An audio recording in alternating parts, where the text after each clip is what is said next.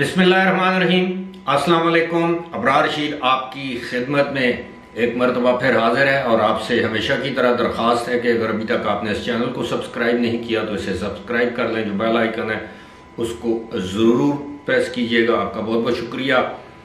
आपके इल्म है कि आज पाकिस्तान ख़ास तौर पर खैबर पख्तूनख्वा, पंजाब और सिंध के मुख्तलिफ़ इलाक़ों में आज ज़मनी इंतबात मनद होना थे, जो हो चुके हैं।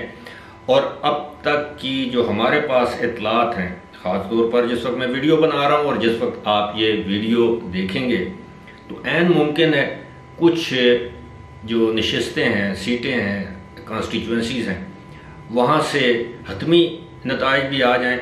लेकिन इलेक्शन कमीशन ऑफ़ पाकिस्तान ने यह ऐलान किया है कि जब तक वो ऐलान नहीं करेगा, उस वक्त तक तमाम हतज को नतज को गैर हतमी ही समझा जाएगा। लेकिन अब तक की जो सूरत हाल है, उसके मुताबिक जो सात नशस्तें जहाँ से इमरान खान खुद इंतबात में हिस्सा ले रहे हैं या इंतखब में हिस्सा ले रहे हैं, उनमें से वो छः नशस्तों पर फ़िलहाल बरतरी पर दिखाई दे रहे हैं। जिस तरह मैंने कहा है कि ये गैर हतमी और तकरीबन तमाम पोलिंग स्टेशन के नतज आना अभी बाकी हैं। अलबत् कराची की एक सीट है, जहाँ से इमरान खान कुछ एक दो हज़ार वोटों की कमी के के साथ पीछे हैं। और उनके जो पीपल्स पार्टी के जो उम्मीदवार हैं, वो उनसे दो हज़ार की लीड पर हैं। लेकिन इंपॉर्टेंट बात यह है कि मुल्तान का जो मार्का है, वो बज़ाहिर मैं एक मरतबा फिर ये कह दूँ कि बज़ाहिर ऐसे लगता है कि पीपल्स पार्टी के उम्मीदवार मार लेंगे, क्योंकि वहाँ पर पीपल्स पार्टी और तहरीक इंसाफ के जो उम्मीदवार हैं, यानी शाह महमूद कुरैशी साहब की साहिबजादी और यूसुफ रज़ा गिलानी साहब का जो साहिबजादे हैं, वो उनमें काफ़ी ज़्यादा मार्जिन दिखाई देता है। इसी तरह जो पंजाब में जो जिन सूबाई नशस्तों की पर पोलिंग हुई है, उनमें भी पीपल्स पार्ट अपना पीटीआई और नून लीग तकरीबन आज साथ साथ हैं। कहीं पीटीआई लीड पर है और कहीं नून लीग लेकिन जो मरदान में, जो समझा जा रहा था कि मरदान में एक तरफा मरदान और चरसदा में इमरान खान को शिकस्त होगी और वहाँ पर मौलाना कासिम खान मरदान में और चरसदा में अहमद वली जो है वो मज़बूत पोजीशन पर हैं।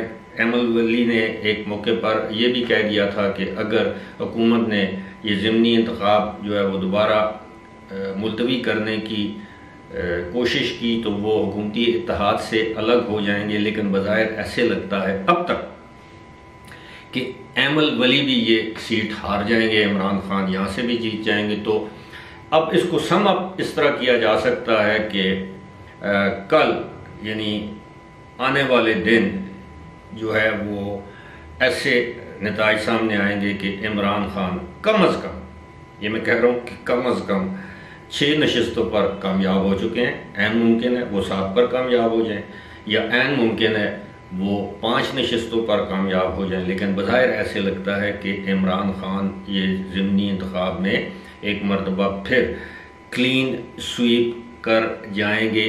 और अगर ऐसा होता है तो ये हुकूमती इतिहाद के लिए एक बहुत बड़ा सियासी धचका होगा। बहरहाल, वक्त ना एक जैसा रहता है, ना पीटीआई के बारे में किसी ने सोचा था कि इस साल मार्च में कि इमरान खान या उनकी जमात इतनी ज़्यादा मकबूलियत हासिल करेगी अवाम में, बयानिया चाहे कुछ भी हो, हम उनकी पॉलिसी से इतफाक़ करें या इख्तलाफ करें। अब ज़ाहिर है, जो उनके वोटर्स हैं, वो उनके बयानिए पर यकीन रखते हैं। लिहाजा नतज अभी सामने आ रहे हैं। कल तक या रात गए तक नतज मुकम्मल हो जाएँगे, लेकिन एक मरतबा फिर मैं ये कह दूँ कि हम लोग जो भी देखते हैं, कहीं पर बात करते हैं तो एक फील आ जाती है। और फील ये है कि अक्सरियती सीटों पर, जिस तरह मैंने बताया कि सात में से छः कम अज़ कम मुमकिन है सात सीटों पर इमरान खान कामयाबी हासिल कर लेंगे। एन मुमकिन है पाँच सीटों पर कामयाबी हासिल करेंगे, लेकिन अक्सरियती सीटों पर इमरान खान ही कामयाबी हासिल करेंगे। लेकिन वो कामयाबी हासिल करके क्या करेंगे? एक नशस्त मियाँ वाली की उनके पास है, उससे इस्तीफा देकर कोई और नशस्त लेंगे, या फिर वो नहीं जाएँगे, हलफ नहीं लेंगे, और बिल आखिर इलेक्शन कमीशन ऑफ़ पाकिस्तान को इन्हीं नशस्तों पर दोबारा ज़मनी इंतखब का ऐलान करना पड़ेगा। लेकिन ये एक सियासी चाल थी, इस चाल में इमरान खान कामयाब हो गए।